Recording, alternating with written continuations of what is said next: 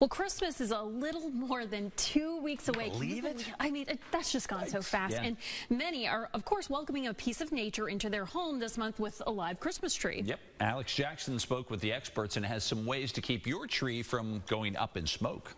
It's supposed to be one of the most cheerful times of the year, spent with family and friends. Many in our region will celebrate the season by putting up a live or artificial Christmas tree.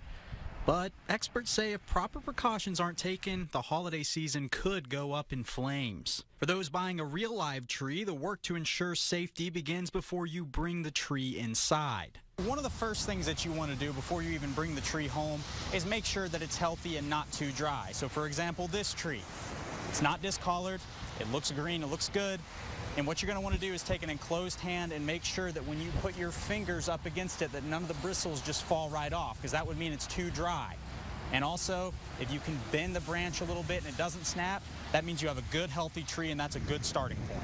The Huntington Fire Department says once you get your live tree home or put up your artificial tree, the display spot is crucial. Placement, that's very easy. We uh, don't want to block any types of egress paths. That's exits, hallways, any type of walking path.